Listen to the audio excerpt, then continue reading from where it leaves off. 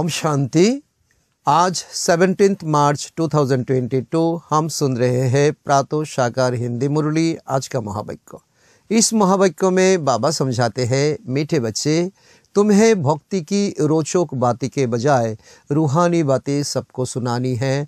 रावण राज्यों से मुक्त करने की सेवा करनी है। बहुत इंपॉर्टेंट बात बाबा समझाते हैं। ढाई हज़ार साल रावण हमें भटकाया।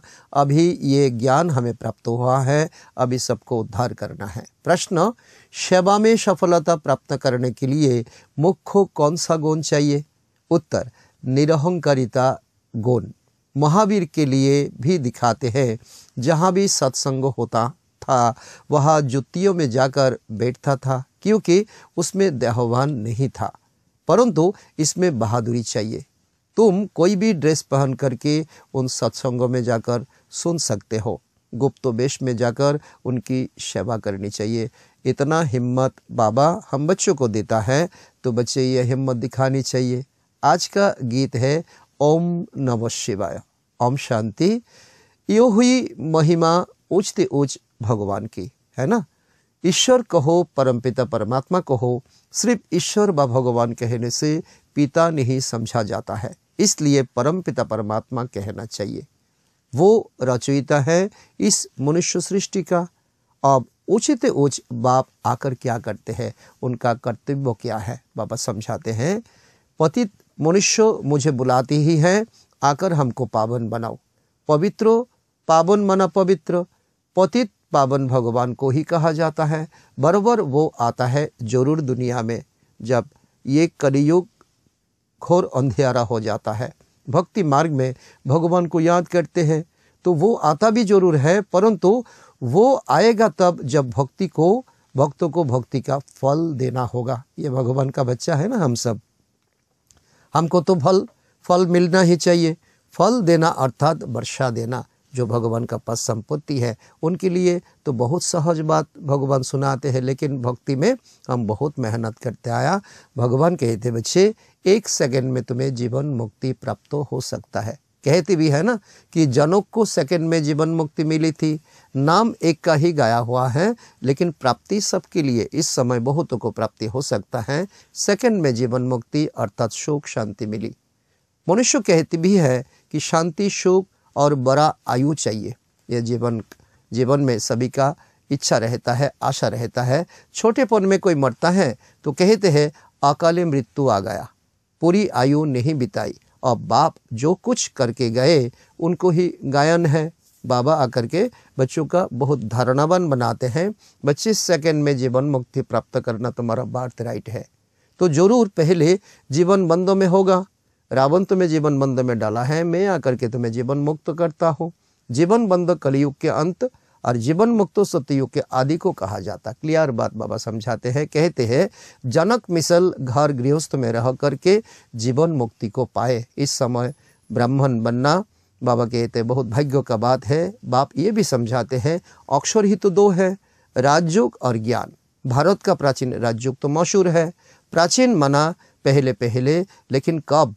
यह मनुष्य नहीं जानते, क्योंकि कल्पों की आयु लाखों लाखों वर्षों को हो देते हैं।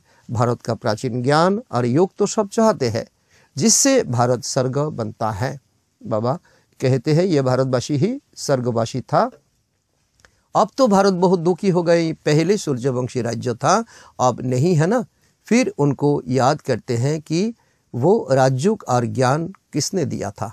ये नहीं जानते हैं। नहीं तो बाप से वर्षा लेने में, बच्चों में कोई तकलीफ़ नहीं होना चाहिए। बाप का बने तो वर्षे के लायक बने। लेकिन मुश्किल तो यही है, बाप का बनते ही नहीं, बाप को पहचानने की कोई कोशिश नहीं करते हैं। फिर भी माता पिता टीचर की शिक्षा मिलनी होती है तो मुक्ति का भी वर्षा चाहिए ना। इसलिए गुरु करते हैं, परंतु जीवन मुक्ति तो कभी कोई दे नहीं सकते, एक परम पिता परमात्मा के सिवाय। जब जीवन बंध का अंत हो तो जीवन मुक्ति की आदि हो, तब ही फिर जीवन मुक्ति देने वाला आए। ये भी परिस्थिति होना चाहिए। तब तो बाबा कहते, भूख नहीं लगे तो खाना कोई नहीं खाएँगे। इसीलिए तो ये भी बाबा कहते हैं, ये भी तुम्हारा प्रैक्टिकल समय होना चाहिए। मनुष्य ने सिर्फ़ सुना है, सेकंड में जीवन मुक्ति अथवा सेकंड में रावण राज्य से राम राज्य, पोथित से पावन, परंतु कैसे, सो नहीं जानते। बाप तुम आत्माओं से बात करते हैं। यह है रूहानी शिक्षा, जो सुप्रीम रोहो देते हैं, परम पिता देते हैं। वह तो सब मनुष्य ही मनुष्य ही शास्त्र आदि पढ़ते रहते हैं। सत्य द्रापर युग में कहते हैं, फलाना महात्मा ने यो ज्ञान दिया, हमें धन्य धन्य हो गया। तो यहाँ है प्राचीन राजयोग और ज्ञान जो परमपिता परमात्मा ने दिया था। पाँच हज़ार वर्षों पहले, जिससे तुम सौ देवी देवता बने थे, ब्राह्मण सो फरिश्ता सो देवता बने थे। और अब प्राय लोप हो गए यह ज्ञान। अगर लोप ना हो तो कौन सुनाबे तो मनुष्य पतित ना बने तो पतित पावन आकर के पावन कैसे बनाएँगे? तो बाबा ने कहा, ड्रामा में ये सब लॉ लगा हुआ है। ड्रामा में ये सीन तो फिक्स हुआ है। पतित पावन, पतित बनने में चौरासी जन्म तो लेने पड़ते हैं। इसका ही, इसका भी सारा विस्तार बाप समझाते हैं। तो तो बच्चे ही समझ पाएँगे। वर्णों भी समझाते हैं, ब्रह्मा चाहिए तो ब्रह्मा चाहिए तो ब्रह्मा का बाप भी चाहिए ना। तो ब्रह्मा, विष्णु, शंकर, इन तीनों का बाप है, परमपिता, परमात्मा, शिव। और ब्रह्मा द्वारा बेट प्राचीन ज्ञान देते हैं, जिससे विष्णुपुरी का मालिक बनेंगे। क्लियर बात बाबा समझा दिया, और कोई मैजिक नहीं है, और ब्राह्मण सो देवता बन जाता है। बाबा कहते ब्राह्मण बनो, ये पढ़ाई करो तो तुम ये तो ये कंक्षपुरी से, ये रावणपुरी से तुम विष्णुपुरी का मालिक बन जाएँगे। तो ब्राह्मण धर्म वाले मनुष्य से तुम सौ देवी देवता धर्म वाले बन रहे हो। इस समय तुम्हारा फीलिंग होना चाहिए। तो पहले प्रजापिता ब्रह्मा चाहिए ना? तो बाबा प्रजापिता ब्रह्मा को पहले ज्ञान सुनाते हैं। उनको हमारा सम्मुख रखते हैं, कहते हैं, बच्चे, इसको फॉलो करो। कृष्ण को तो प्रजापिता नहीं कह सकते। ये तो सब उल्टी बात बना दिया है शास्त्र में। कृष्ण को इतना रानिया, इतना बच्चे आदि थे यह सब भूल बात है। वास्तव में तो बच्चे तो अभी ब्रह्मा का है। ब्रह्मा हमारा अलौकिक पिता है, न किसी कृष्ण हमारा अलौकिक पिता। ब्रह्मा ही कृष्ण बनते हैं यह है मूल बात। जो ब्रह्मा का आत्मा, वही कृष्ण का आत्मा। तो कृष्ण का आत्मा तो चौरासी जन्म लेकर के ब्रह्मा तो दादा लेखराज बनते हैं। तो भगवान आकर उनका तन में प्रवेश करके उनका नाम ब्रह्मा रखते हैं। जो श्री कृष्ण, वही ब्रह्मा। तो बस इस एक जन्म की उथल पतल ने मनुष्य को मुझा दिया है। बाबा समझाते हैं तो ये इस समय तुम्हारा बुद्धि का ताला खुलता है, गीता का भगवान कृष्ण को कह दिया तो शिव को उड़ा दिया। यह है भक्ति मार्ग। सब कहते हैं, ब्रह्मा को तीन मुख है। कितने मुझे हुए ना? शिव रचयिता को तो एकदम गुम कर दिया है। तो यह है भक्ति का कर्मकांड। तो रचता ही आकर बताते हैं कि हम कैसे देवी देवता धर्मों की रचना करते हैं। तो ऐसे नहीं परमात्मा सृष्टि कैसे रचते हैं? परमपिता परमात्मा को बुलाते ही हैं, हे पतित पावन, आओ, दुख, हरता, सुख करता हाओ हम हम पतितों को आकर के पावन बनाओ। दुनिया को ये मालूम नहीं है, इस समय रावण का राज्य चल रहा है। रावण की बड़ी बड़ी कथाएँ बैठ सुनाते हैं। कितना बड़ा बड़ा शस्त्र पाठ करके सुनाते हैं, इसको कहा जाता है भक्ति मार्ग की रोचक बातें। और इस समय जो परमपिता परमात्मा हमें सुनाते हैं, यह है रूहानी बातें, आत्मा को उन्नति के लिए। तो इस समय सब सीताएँ अथवा भक्तियाँ रावण की कैद में है। बाबा कहते ये भी प्रैक्टिकल है और रावण राज्य में सभी दुखी है। ये कैद हो गया तो दुखी ही होना पड़ेगा। अब सबको रावण राज्य से मुक्त करना परमपिता परमात्मा का काम है। हम बच्चों को उद्धार करते हैं और बाप आया है। और कहते हैं, बच्चे, तुम्हारी चौरासी जन्म अब पूरे हुए हैं। अब वापस चलना है मेरे साथ। तो मुझे ही बुलाते थे ना तो दुख हरता सुख करता आओ, मैं आ गया हूँ। यह मेरा नाम है शिव। कलयुग में है अपार दुख। तो ये दुख से तुम्हें सुख में जाना है ना? तो फिर से तुमको सुख का वर्षा दिलाने अर्थ फिर से तुम्हें राजयोग और ज्ञान में शिकला रहा हो। ये है मूल बात। ये कर्तव्य करने के लिए मैं आया हूँ। यह पुराने दुनिया विनाश हो जाएँगे तो हमारा आँखों का सामने। मनुष्य तो विनाश से बहुत डरते हैं। समझते हैं, यह आपस में लड़े ही नहीं तो शांति हो जाएँगे। इसीलिए शांति के लिए मीटिंग करते हैं। शांति के लिए तो सबको समझाते हैं। फिर इतने अनेक धर्मों में शांति कैसे होगी? बाबा समझाते ये तो सभी टुकड़ा टुकड़ा हो रहा है। तो ये तो ज़ोर नहीं रहा है ना? तो शांति कैसे होगा? बाप समझाते, बच्चे, यो इतने सब धर्म जो अब है, वो पहले नहीं थे। वो टुकड़ा हो गया तो अपना मतभेद हो गया। तो जब एक ही धर्म था, तब बराबर सुख शांति का राज्य था, वो अभी होने वाला है। सब मांगते हैं, मन को शांति कैसे मिले? तो बाबा समझाते, अरे, मन क्या चीज़ है? पहले तो इसको समझाना चाहिए ना। समझना चाहिए ना। मैं समझाता हूँ, अगर तुम धीरे धीरे समझ पाओगे। आत्मा में ही मन बुद्धि है। आत्मा को समझ लो। मन बुद्धि को भी समझ जाएँगे। आत्मा का कर्मचारी है। मनुष्य की जबान बोलती है, आँख देखती है, टोटल मिलाकर कहते हैं मनुष्य दुखी है। दुखी है, ये सब कर्म इंद्रिया अभी बिगड़ी हुई है। किसको भी समझाना बड़ा सहज है ना? बाप को याद करो और वर्ष को याद करो। फिर झार और ड्रामा की समझानी भी देनी पड़े, जिसके लिए ये चित्र बने हुए हैं। सिर्फ़ मन बना भव कहने के लिए चित्रों की दरकार नहीं। बाबा समझाते ये ज्ञान भी चाहिए, ये हमारा याद भी चाहिए। तो चित्र पर समझाने में घंटा लग जाता है। प्राचीन राजयोग भगवान ने सिखलाया है और राजाई हमारा मिल गई। तो फिर से अभी मिलने वाला है। फिर कोई मनुष्य थोड़ी ही राजयोग सिखलाएँगे ये मनुष्य का हाथ में नहीं है। बाप और वर्षों को याद करो तो ठीक है। परंतु ये डिटेल जब तक किसको समझाए नहीं तब तक तो बुद्धि नहीं खुलेगा। बुद्धि में तो तो गदरेज का तला लगा हुआ है। सृष्टि चक्र को समझा, समझ नहीं सकेंगे। जब कोई ड्रामा देख कर आते हैं ना तो वो बुद्धि में आदि से अंत तक घूमता रहता है। तो ये सीन हुआ, ये दुख का बात आए, ये खुशी का बात हुई कहते। तो कहने में तो सिर्फ़ इतना ही आएगा, इस ड्रामा को देखकर आए हैं। तो अब बाबा समझाते हैं, तुम भी कहते हो ना इस ड्रामा को हम जानते हैं। ये पाँच हज़ार साल ड्रामा। वो तो दो घंटा के लिए जाते हैं, फ़िल्म देखने के लिए, ड्रामा देखने के लिए। परंतु डिटेल तो बहुत है। पाँच हज़ार साल का ड्रामा, सत्तो, त्रेता, द्रापर कली। तो बाप से शोक शांति का वर्षा मिलता है। फिर बुद्धि में चक्रों भी तो है। चौरासी का चक्र ज़रूर घड़ी घड़ी याद करना है। बाबा कहते ये सदर्शन चक्र है। ये ज्ञान ब्रह्मणों को ही मिलता। जो फिर देवता बनते हैं। इस समय ये ज्ञान घुमा करके, चक्र घुमा करके ये मनोवृत्ति को हमें परिवर्तन करना चाहिए। ब्रह्मा सो विष्णु, फिर विष्णु सो ब्रह्मा बनते हैं। तुम जो देवी देवता थे, पुनर्जन्म लेते लेते फिर आकर के ब्राह्मण बने हो। हद का बाप तो सिर्फ़ उन्नति पालना करते हैं। विनाश तो नहीं करेंगे। विनाश अर्थात सारा पति दुनिया ही ना रहे। ये परमात्मा का हाथ में है। वो करते नहीं, वो कराते हैं। सारे रावण राज्य ही विनाश होना ही है। नहीं तो राम राज्य कैसे स्थापन हो? वह कभी रावण को जलाएँगे नहीं सत्ययुग त्रेता में। भक्ति मार्ग की कोई भी बात ज्ञान मार्ग में होता नहीं। और बाबा समझाते हैं, और भक्ति में ज्ञान का कोई बात नहीं, ज्ञान में भक्ति का कोई बात नहीं। यह क्लियर बाबा समझाते हैं, ज्ञान भक्ति वैराग्य जब ज्ञान प्राप्त होता है, भक्ति हमें भूलना ही चाहिए। नहीं तो ज्ञान हमारा अंदर में तो ठहरेंगे नहीं, ज्ञान का शक्ति हमें प्राप्त नहीं कर पाएँगे।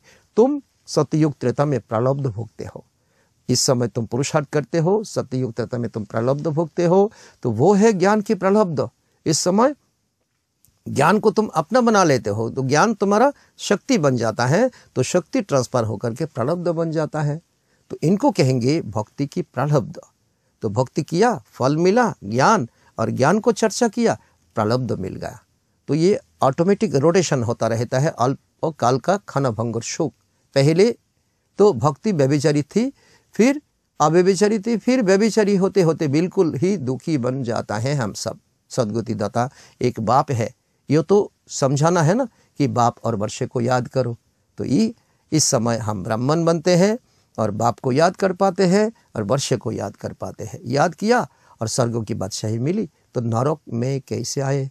तो यह सब बातें बैठ समझाई जाती है। अब तुमको सारी सृष्टि चक्रों के आदि मध्य अंतों का पता पड़ गया ना?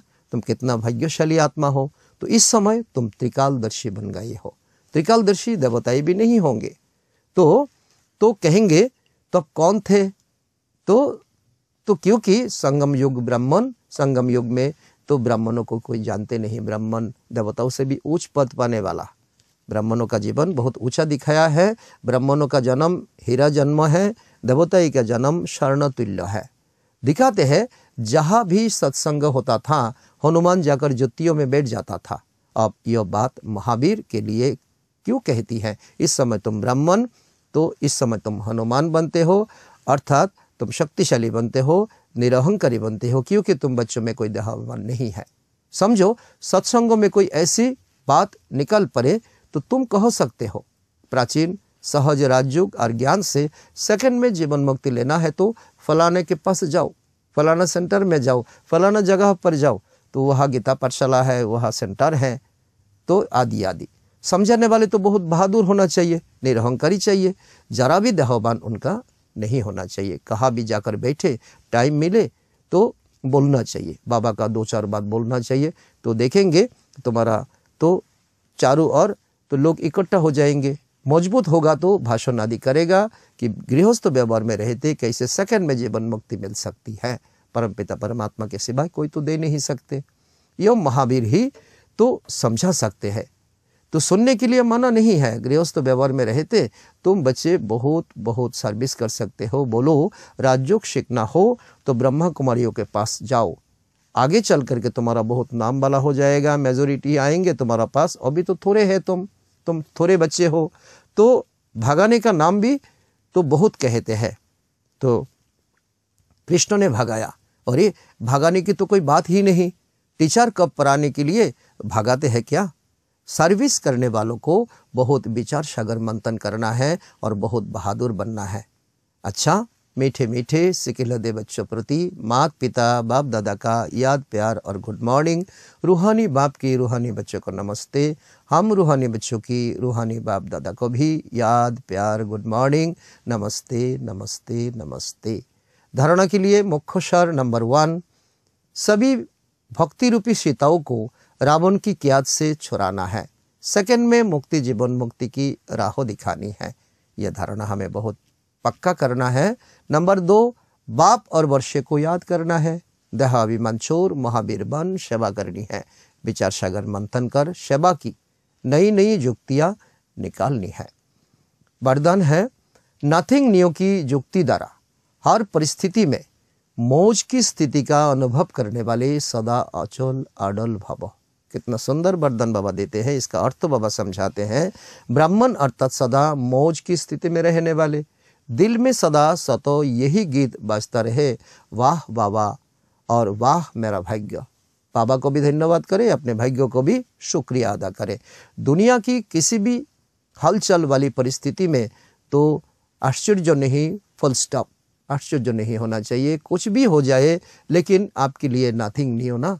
कोई नई बात नहीं, इतने अंदर से अचल स्थिति होना चाहिए। क्या, क्यों? तो मन मुझे नहीं हम्म? तब कहेंगे, अचल अडल आत्माएँ कोई भी परिस्थिति आए तो मुंझाना नहीं चाहिए। तो आज का स्लोगान है तो वृत्ति में शुभ भावना हो, शुभ कामना हो तो शुभ वाइब्रेशन फैलती रहेगी। ये शुभ वाइब्रेशन तो फैलाना, ये ब्राह्मणों का काम है। आज का समान है, मैं अचल अडोल आत्मा हूँ। आज का अनमोल ज्ञान रत्नों दादियों का पुरानी डायरी से हम सुनेंगे। नंबर वन अब तुम्हें दैवी गुणों की धारणा करनी है। धैर्यवद गुण की धारणा भी निश्चय से होती है और साक्षीपन की अवस्था में खुशी रहता है। इस धारणा से ही परमात्मा आप ही हज़ार कदम आगे पृथक प्रखत होता है। यह प्रैक्टिकल बात है। हमें दैवी गुण धारण करना है, निश्चय से हमें आगे बढ़ना है साक्षीपन का स्थिति हमें पक्का करना है। बाबा कहता है कि तुम सूक्ष्म में सूक्ष्म में दो कदम नज़दीक आओ तो स्थूल में अनेक कदम उठा करके सामने आऊँगा। ज्ञान है ही, स्व लक्ष्य में स्थित रहना। स्व में स्थित रहने से ही परमात्मा स्वयं आगे आएगा। तो बाबा के ये महावाक्य को याद कर दो। तो जितना दैवी गुण को धारण करेंगे, उतना ही एक दो के सुख देने के निमित्त बनेंगे। कितना बड़ा हमें प्राप्ति मिलता है। आज देना, काल मिलेगा। आज किसी को ये ज्ञान का तो अथॉरिटी बन करके ज्ञान दो। आज सर्वेंट बन देने देने से कल मालिक बन राज्य करेंगे। अभी तो वर्ल्ड सर्वेंट हो ना। नंबर दो, हर एक स्वस्थिति में स्थित हो, अपने रथ को चलाते चलो। चलाते चलो, ब्रह्मा को देखो, जैसे कि इस रथ को मैं बिठाता, बिठाती हो, मैं खिलाती हो, सुलाती हो, मैं मुख से बात कराती हो, अगर मैं मुख से किसको दुख देती हो तो जैसे अपने ही स्वरूप की इंसल्ट करती हो। तो ये तो फिर संपूर्ण आत्मा कहती है कि, हे जीवात्मा, तेरे पर अफसोस है। ऐसे इंसान अथवा प्राणी में में शुद्ध आत्मा प्रवेश नहीं हो। सौ शुद्ध आत्मा जिस जगह है तो उस जगह पर अफसोस नहीं, क्योंकि वो कभी भी किसको दुख नहीं दे सकते। सौ शुद्ध आत्मा तो तो सुख स्वरूप है। और ऐसा स्व निश्चय बुद्धि तो सदैव सुख पहुंचाता है। तो यो साक्षात मेरा स्वरूप है और जो अपने स्व आत्मा निश्चय करते हैं, अन्यों को दुख देता है, वो सिर्फ़ कहलेने बना कहले बना पंडित है। तो अपने को आप पंडित कहो तो ये तो कोई मानेगा नहीं। लोग आपको पंडित कहना चाहिए। उसका असर दूसरों पर नहीं हो सकता।